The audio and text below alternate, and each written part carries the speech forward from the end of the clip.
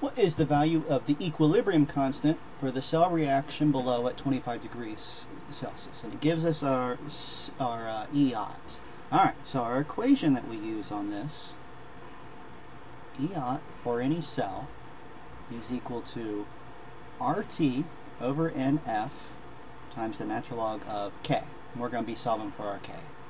So we're just plugging things in here. Like 61 volts. Our R is always the energy R gas constant R. Uh, need to have our temperature in Kelvin. Uh, Faraday's constant. And the N needs to be the number of electrons being exchanged in this whole process. Now we can figure that out by just actually seeing what's going on with one of our uh, species. So chromium turns into chromium 3+. plus.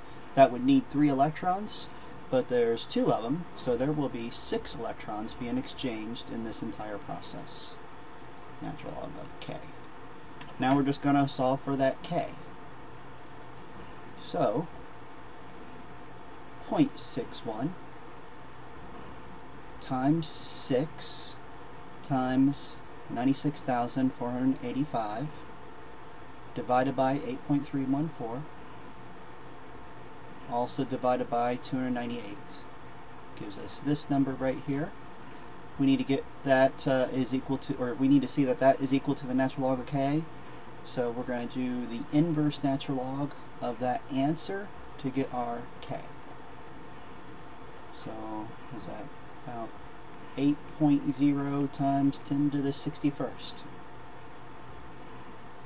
now your book actually does introduce a shortcut way of using, I think it's 0.0592 in place of the 8.314, the 298, and the 96,495.